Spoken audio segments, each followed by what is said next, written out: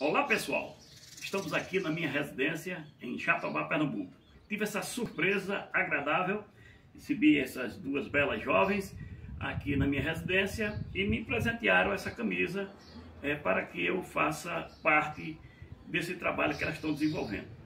Exatamente, a gente quer incluir os homens na nossa rede de apoio às mulheres.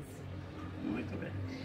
Fomos muito bem recebidos, né? agradecemos pela oportunidade e realmente, como o Nestor falou, a gente está é, alavancou uma campanha muito interessante, né? Que fala, a gente quer falar de violência contra as mulheres para os homens. Então a gente quer incluir mais os homens né, nesse debate, nessa temática, e nada mais é, é necessário do que procurar figuras influentes no nosso município para fortalecer essa rede com a gente.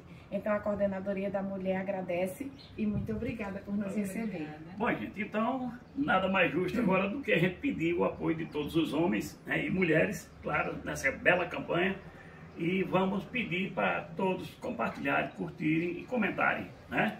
Bem bye. Valeu!